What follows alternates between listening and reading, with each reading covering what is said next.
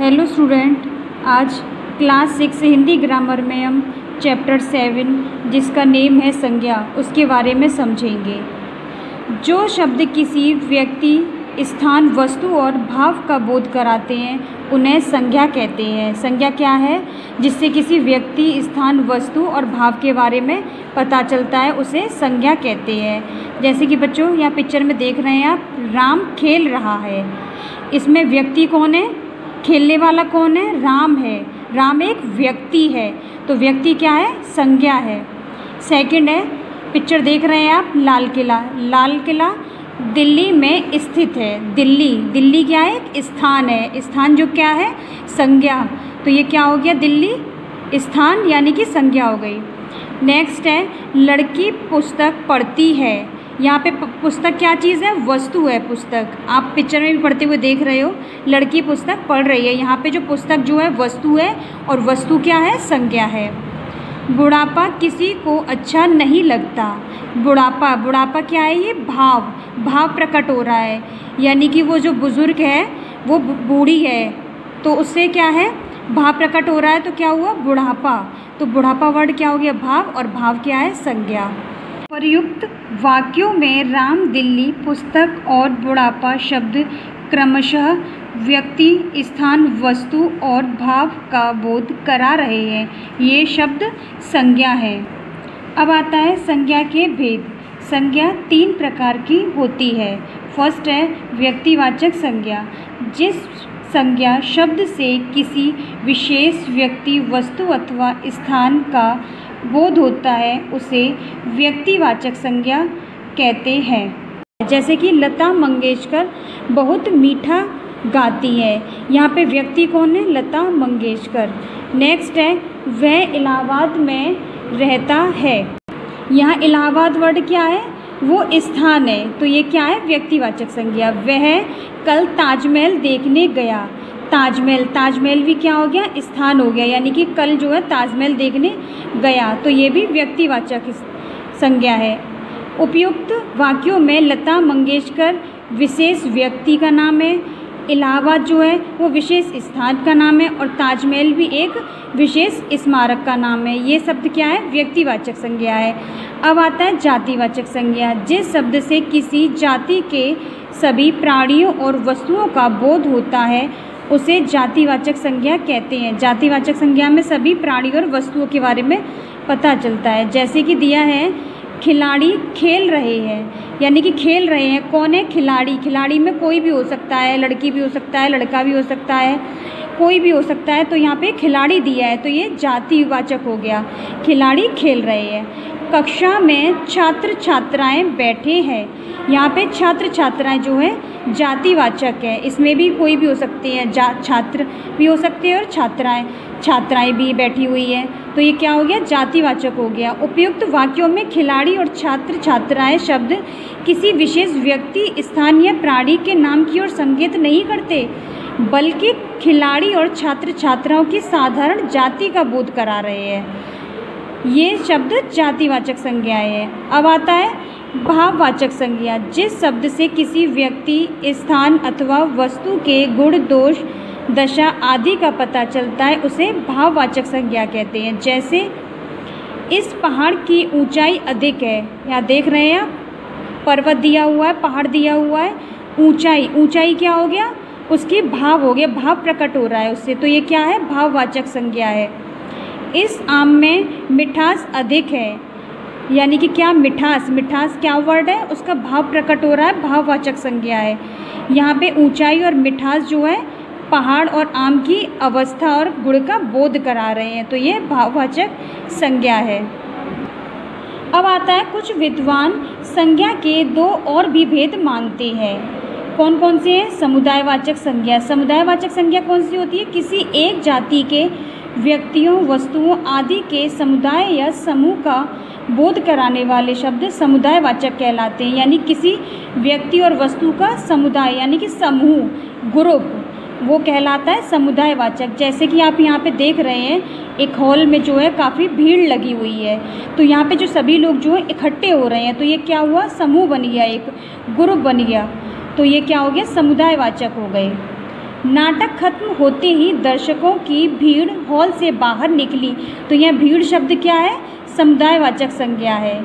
नेताजी के सम्मान में एक सभा आयोजित की गई। यह सभा वर्ड क्या हो गया? समुदायवाचक हो गया। मेज पर पुस्तकों का बंडल रखा हुआ है। बंडल वर्ड क्या है? बंडल समुदाय है। यानी कि बहुत सारी पुस्तकों का बंडल रखा हुआ है। उपयुक्त वाक्यों में भीड़, सभा और बंडल जो क्या है? समुदायवाचक संज्ञा है। अब आता है द्रव्यवाचक संज्ञा। जिन संज्ञा शब्दों से किसी द्रव्य, धातु या पदार्थ आदि का बोध होता है, उसे द्रव्यवाचक संज्ञा कहते हैं। जैसे लोहे की अलमारी। ये वर्ड क्या है? द्रव्यवाचक है। नेक्स्ट है, रमेश ने पाँच लीटर दूध खरीदा। दूध दूध वर्ड क्या पे यहाँ पे क्या है? द्रव्यवाचक। सबसे अधिक चावल भारत में पैदा होता है। चावल चावल क्या हो गया? द्रव्यवाचक हो गया। उपयुक्त वाक्यों में लोहा, दूध और चावल क्रमश क्या है? धातु क्या हो गया? लोहा, दूध। दूध क्या हो गया? द्रव्य। चावल क्या हो गया? पदार्थ को दर्शाते हैं। इसलिए यह द्रव्यवाचक संज्ञा कहलाते हैं। बच्चों, अभी तो हमने ये चैप्टर पढ़ा और समझा। अब इसके क्वेश्चन आंसर को भी पढ़ेंगे। फ़र्स्ट क्वेश्चन है, संज्ञा किसे कहते हैं? उदाहरण सहित लिखिए। आंसर है, जो शब्द किसी व्यक्ति, स्थान, वस्तु और भाव का बोध कराते हैं, उन्हें संज्ञा कहते हैं। जैसे कि राम, क्या हो गया? व्यक्ति, दिल्ली, स्थान, पुस्तक हो गई, वस्तु बुढ़ापा ये हो गया, भाव। ये सब क्या है? संज्ञा। सेकंड है, संज्ञा के कितने भेद होते हैं, उनके नाम लिखिए। संज्ञा के तीन भेद होते हैं, व्यक्तिवाचक संज्ञा जातिवाचक संज्ञा, भाववाचक संज्ञा। नेक्स्ट क्वेश्चन है, कुछ विद्वान के अनुसार संज्ञा को और कितने भागों में बांटा गया है, उनके नाम लिखिए। कुछ विद्वान के अनुसार संज्ञा को दो और भागों में बांटा गया है कौन कौन से हैं? फ़र्स्ट है, समुदायवाचक संज्ञा और दूसरा है, द्रव्यवाचक संज्ञा। अब लास्ट क्वेश्चन है, जातिवाचक संज्ञा किसे कहते हैं? उदाहरण सहित लिखिए। जिस शब्द से किसी जाति के सभी प्राणियों और वस्तुओं का बोध होता है, उसे जातिवाचक संज्ञा कहते हैं। जैसे खिलाड़ी छात्र छात्राएँ कक्षा आदि। अब आता है नेक्स्ट बुक वर्क फ़र्स्ट है, संज्ञा किसे कहते हैं? सही उत्तर चुनिए। तो अभी जैसे हमने आंसर में भी पढ़ा था, क्या आएगा सही आंसर इसमें हमें पता लगाना है पढ़ के। फ़र्स्ट है, उन शब्दों को जो क्रिया का बोध कराते हैं या उन शब्दों को जो व्यक्ति द्वारा किए गए कर्म का निश्चित समय बताते हैं या उन शब्दों को जो किसी व्यक्ति, स्थान, वस्तु या भाव का बोध कराते हैं या इनमें से कोई भी नहीं।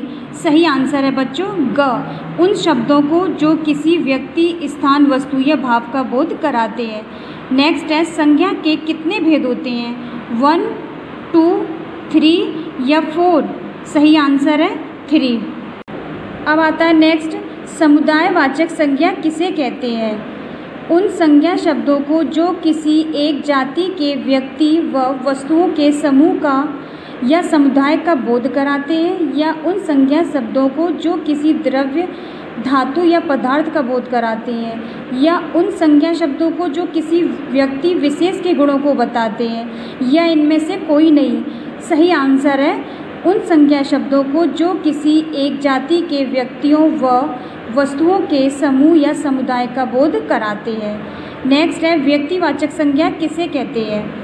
उन संज्ञा शब्दों को जिनसे भावों का ज्ञान होता है, या उन संज्ञा शब्दों को जिनसे किसी विशेष व्यक्ति, वस्तु अथवा स्थान का बोध होता है, या उन संज्ञा शब्दों को जिनसे व्यक्तियों के समुदाय का बोध होता है, या इनमें से कोई नहीं। सही आंसर है, उन संज्ञा शब्दों को जिनसे किसी विशेष व्यक्ति, वस्तु या स्थान का बोध होता है।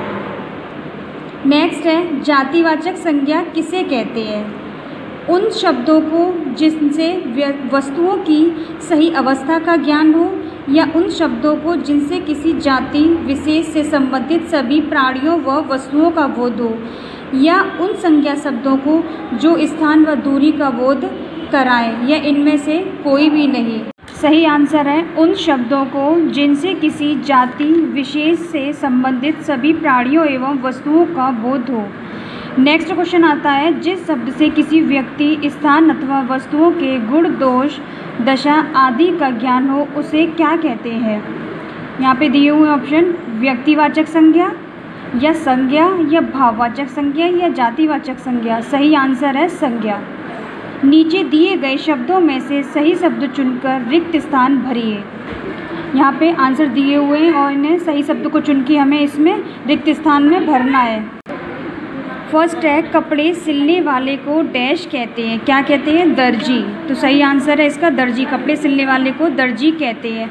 संगीत जानने वाले को डैश कहते हैं। क्या इसका आंसर? संगीतज्ञ। संगीत जानने वाले को संगीतज्ञ कहते हैं। गहने बनाने वाले को डैश कहते हैं। क्या कहते हैं? सुनार। गहने वाले, बनाने वाले को सुनार कहते हैं। कपड़े धोने वाले को डैश कहते हैं। क्या है आंसर? धोबी। कपड़े धोने वाले को धोबी कहते हैं। मिट्टी के बर्तन बनाने वाले को डैश कहते हैं। क्या है इसका आंसर कुमार? मिट्टी के बर्तन बनाने वाले को कुमार कहते हैं। नीचे लिखे वाक्यों में से संज्ञा छाट के लिखनी है। यहाँ पे वाक्य दिए हुए हैं इसमें से हमें संज्ञा छाटनी है। चिड़िया घोंसलों में रहती है। यहाँ पे संज्ञा क्या है? चिड़िया और घोंसलों। नेक्स्ट है, सीता कल दिल्ली जाएगी। इसमें संज्ञा क्या है? सीता और दिल्ली। नेक्स्ट है, प्रयाग हमारा शहर है। आंसर है, क्या है इसमें? प्रयाग और शहर। नेक्स्ट है, परिश्रम सफलता की कुंजी है। इसमें संज्ञा क्या है? परिश्रम, सफलता और कुंजी। नेक्स्ट है, किसान हल चला रहे हैं। इसमें संज्ञा है, किसान और हल। अब आता है नेक्स्ट क्वेश्चन नीचे लिखे वाक्यों में भाववाचक संज्ञा भरिए। भाववाचक कौन सी संज्ञा होती है? जिससे भाव प्रकट होता है।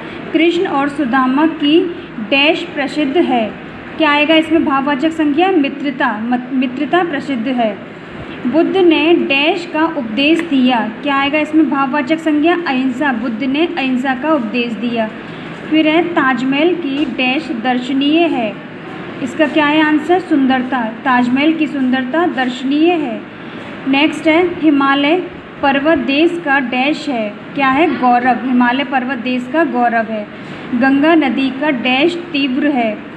क्या है इसका आंसर? बहाव। गंगा नदी का बहाव तीव्र है। अब आता है लास्ट क्वेश्चन नीचे कोष्टक में दी गई भाववाचक संज्ञाओं में से उचित संज्ञा छाट के लिखनी है। यहाँ पे जो है, संज्ञा दी हुई है, इसमें से आपको जो सही है, वो उसके सामने लिखना है। कवि। कवि की जो भाववाचक संज्ञा होगा, वो होगा कवित्व। फिर है युवा। युवा का होगा भाववाचक संज्ञा यौवन। नेक्स्ट है गरम। गरम का हो भाववाचक संज्ञा गर्मी। लास्ट वर्ड है जीतना। जीतना का भाववाचक संज्ञा है जीत। Thank you student